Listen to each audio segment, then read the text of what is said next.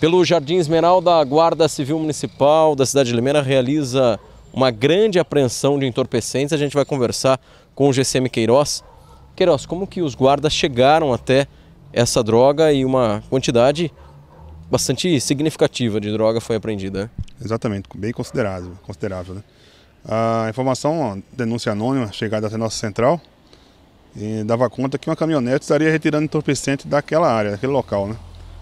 Fomos para lá, deslocamos aí em, três viaturas para o local. Porém, chegando lá, a caminhonete já não se encontrava. Verificamos por sobre o muro, né? Tratar de um muro alto, né? Bastante complicado para pular. A gente verificou que havia veículos no interior. Pulamos o muro e verificando um dos veículos, né? Que era o Escort, ele estava aí repleto de entorpecentes no seu interior.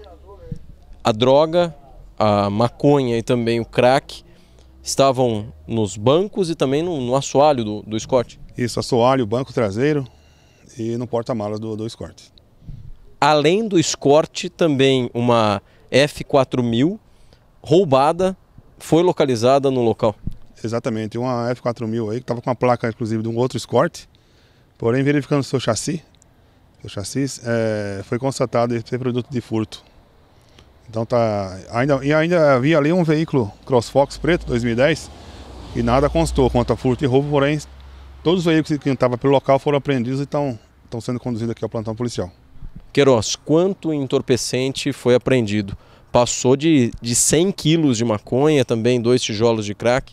Sim, foram um total em balança não oficial até o momento, 130,4, né? 130 e 400 gramas de maconha e mais 2 quilos de, de aparentemente não ser crack.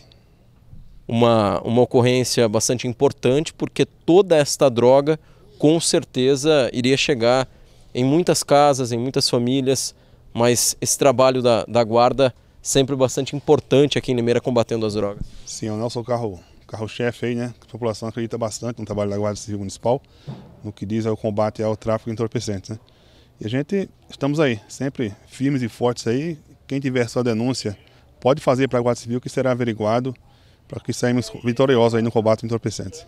No último final de semana agora, uh, a Guarda prendeu aí uma grande quantidade de cocaína, agora uma quantidade maior ainda de maconha. Infelizmente, o tráfico de entorpecentes não para, né?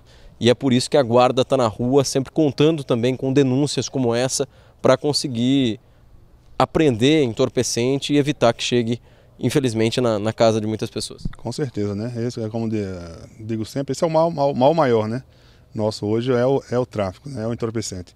Porque é daí que vem os furtos, os roubos. Então, a gente combatendo o tráfico, a gente já elimina também aí por tabela outros crimes. Qual a equipe da, da Guarda Civil Municipal que apresenta a ocorrência? A equipe 643, a minha Romu 643, os GCMs Carvalho, Roberto R. Silva e Queiroz. No local só foi encontrado os veículos e a droga. Ninguém estava manuseando ou descarregando o entorpecente. Não, infelizmente não. Chegamos aí um pouco tarde, né? A denúncia dava conta que, que, que havia alguém pelo local, porém, quando da nossa chegada já não, não encontramos ninguém. Queiroz, este veículo que foi encontrado, esse veículo furtado, a F4000, é possível que os indivíduos usassem esse veículo para transportar grandes quantidades de entorpecentes aqui na nossa região. Ah, com certeza, né? Dando, dando, tendo em vista aí que a placa estava de, de, um outro veículo, né? Então possivelmente tenha sido usado em outro tipo de, de, de crime ou até mesmo para transportar entorpecente, né?